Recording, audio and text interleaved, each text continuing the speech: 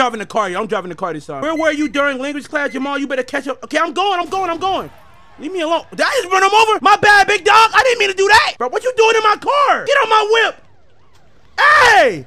Brother, he just gonna follow me. Bro, get out my car. Move. Ah, bro, the teacher ran me over, y'all.